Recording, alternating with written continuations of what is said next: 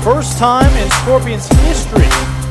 Islanders with an opportunity. This one up and through, cross and in for Puerto Rico. Closing. That's going to leave an open window on the frame. And Puerto Rico no numbers advance the Islanders. And this ball will sneak through.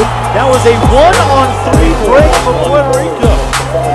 And again, one-on-one, and it is now a 4-0 advantage for the Islanders. What is the most anticipated match in the NASL? First place Puerto Rico Islanders, second place San Antonio Scorpions. This is the match we've been waiting Ramirez. for. Walter Ramirez with a long shot of his own.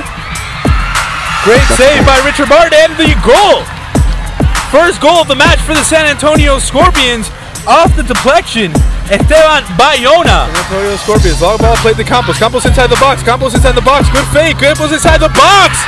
And he beats the goalkeeper Richard Martin. And the Puerto Rico Islanders suffering their first home loss since September 2010 in regular season action